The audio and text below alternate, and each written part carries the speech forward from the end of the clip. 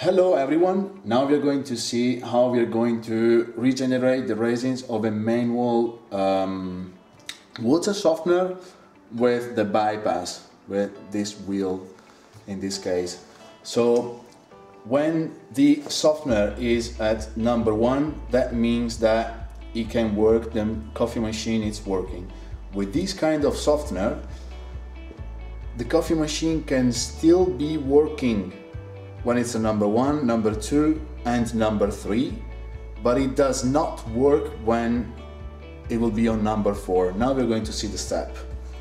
So at first, we need to make sure that we held the outlet, so the bypass.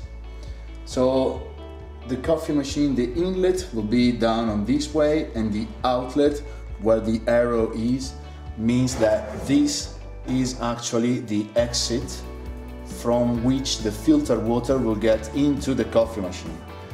So from number one, I will go from number one, turn it anti-clockwise until number two.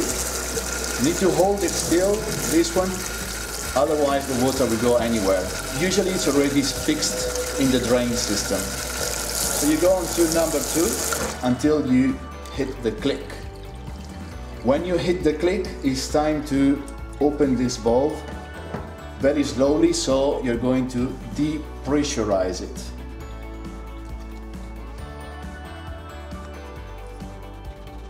Very gently, you may hear some noise, but in this case, there's none. You unscrew it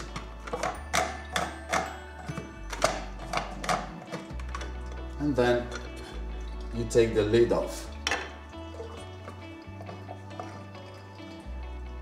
There you go.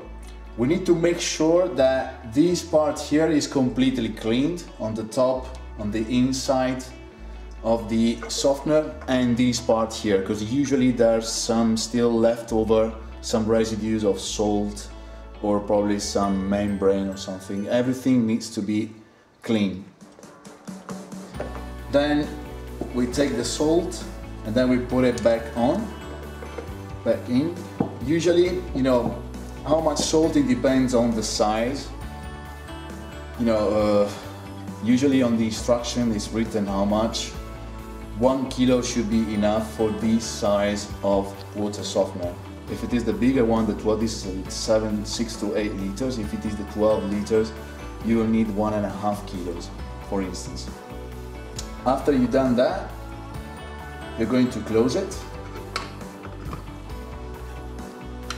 Pull the lid back and then close it firmly. Try not to close it too firmly, otherwise you're going to break the handle. There you go. Then from number two, we go to step number three. So what's happening now is that we need to let the water run through like that for about 45 minutes to an hour if it is as big as this one is.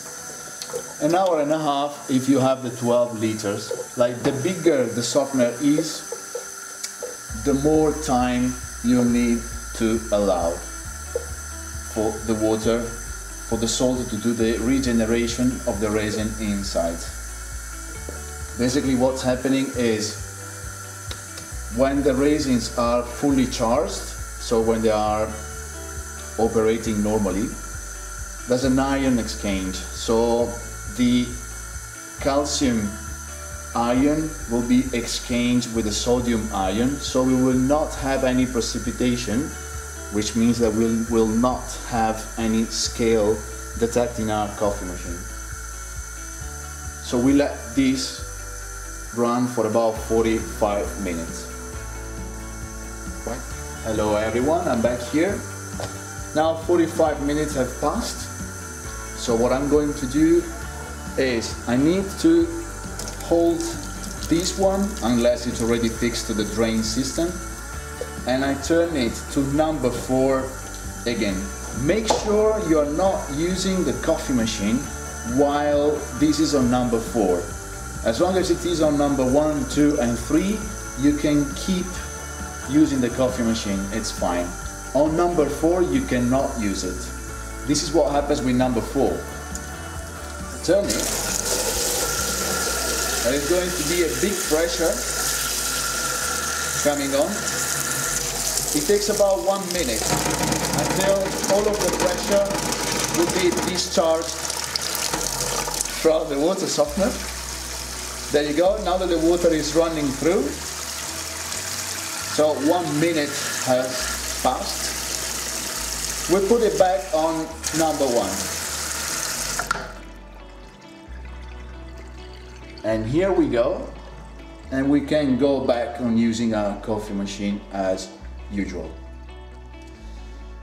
A lot of people ask how many times we have to do this operation, whether it's a manual one or an automatic one. So obviously it depends on the kind of water that you have and the amount of water that you use on the coffee machine.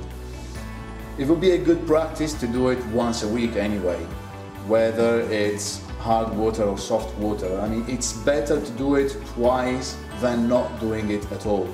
So at least once a week, once every two weeks if your water is really soft.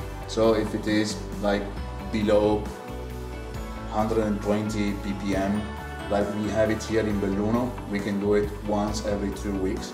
It's fine. But otherwise, once a week, it won't hurt at all. Thank you very much, and I'll see you on the next video.